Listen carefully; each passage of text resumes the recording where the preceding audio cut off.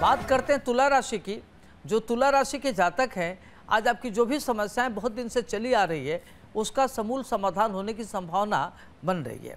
आज आपका मन प्रफुल्लित रहेगा, चौतरफा लाभ से आपको काफ़ी लाभ होगा और चौतरफा लाभ से मन आपका प्रसन्न रहेगा। वाहन भी खरीदने का योग बन रहा है, पदोन्नत का योग बन रहा है और अचानक कोई बड़ा कार्य होने से मन आपका प्रसन्न रहेगा।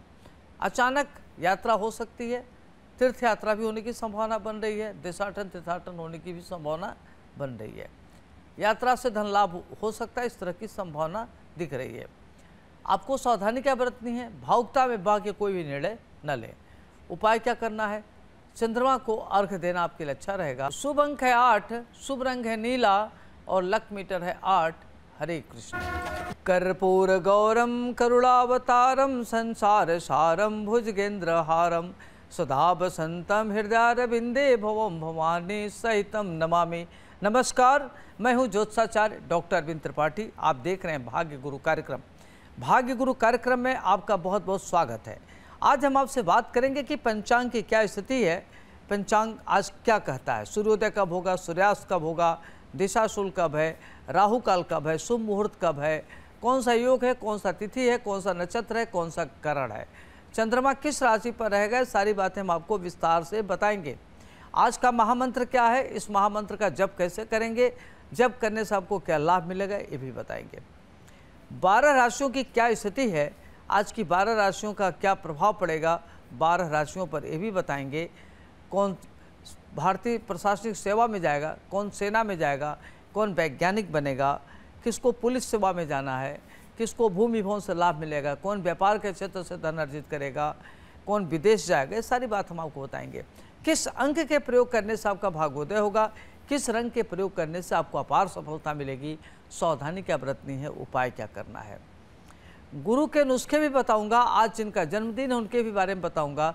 दर्शकों के प्रश्नों का उत्तर भी दूँगा। आप देखते रहिए भाग्य गुरु कार्यक्रम। अब आइए हम शुरुआत करते हैं आज के पंचांग की। आज का पंचांग है 8 जून 2024 दिन है, शनिवार। सूर्योदय हो चुका है, प्रातः पाँच बज के बाईस मिनट पर। सूर्यास्त होगा शाम को सात बज के सत्रह मिनट पर। आज चंद्रमा रहेगा मिथुन राशि में। आद्रा नक्षत्र है, शुक्ल पक्ष है, गंड योग है। और आज का जो शुभ मुहूर्त है, वो ग्यारह बज के बावन मिनट से लेकर के दोपहर बारह बज के अड़तालीस मिनट तक रहेगा।